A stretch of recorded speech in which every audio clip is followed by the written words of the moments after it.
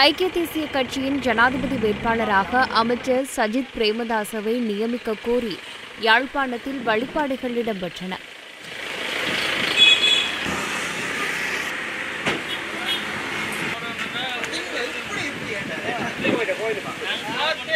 கைதடியில் அமைந்துள்ள திருவாசக அரண்மனையில் ஐக்கிய தேசிய கட்சியின் கிராம மட்ட பாதுகாப்பு சபையின் உறுப்பினர்களினால் இன்று இந்த வழிபாடுகள் மேற்கொள்ளப்பட்டன.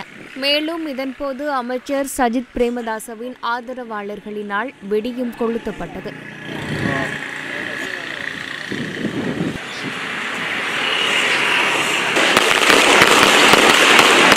ஜனாதிபதி தேர்தல் சூடு பிடித்துள்ள நிலையில் ஸ்ரீலங்கா பொதுஜன பெரமுனவின் வேட்பாளராக கோட்டாபய ராஜபக்ஷவும் ஜேவிபி சார்பாக அனுரகுமார திசாநாயக்கவும் அறிவிக்கப்பட்டுள்ளனர்.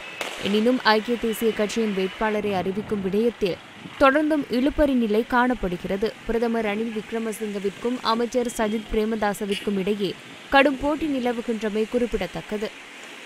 இன்றைய தினம் ஐக்கிய தேசிய கட்சியின் பிரதி தலைவராகிய சஜித் பிரேமதாஸ் அவர்கள் அவர்களை ஜனாதிபதி ஜனாதிபதியாக வர வேண்டும் என்றும் அவர்களைத்தான் நிறுத்த வேண்டும் என்றும் நாங்கள் எங்கள் யாழ் மாவட்ட மக்களுடைய ஆசீர்வாதத்துக்காக இன்று சிவதட்சிண மூர்த்தி தேவாலயத்துக்கு வருகிறந்து புகுந்தை வழிபாடுகள் செய்துள்ளோம்.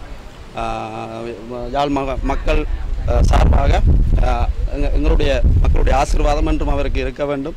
நாட்டுக்கு ஒரு நல்ல தலைவர் உருவால் உருவாக வேண்டும் என்ற கொள்கையுடன் தமிழ் மக்களுக்கான சகல பிரச்சனைகளுக்கும் ஒரு நல்ல தலைவர் நாட்டு முழு முழு நாட்டுக்கும் நல்ல தலைவர் உருவால் வேண்டும் என்ற ரீதியில் சஜித் பிரேமதாஸ் அவர்களை கண்டிப்பாக நிறுத்த வேண்டும் என்ற என்பதற்காக இறைவனுடைய அருளை பெற்றுக்கொள்வதற்காக இன்றைய தினம் இந்த தேவாலயத்துக்கு வந்து பூ- பூஜை வழிபாடுகள் செய்துள்ளோம். இது போன்ற முக்கிய செய்திகளை உடனுக்குடன் அறிந்து கொள்ள ஆதவன் யூடியூப் சேனலை சப்ஸ்கிரைப் செய்யுங்கள்.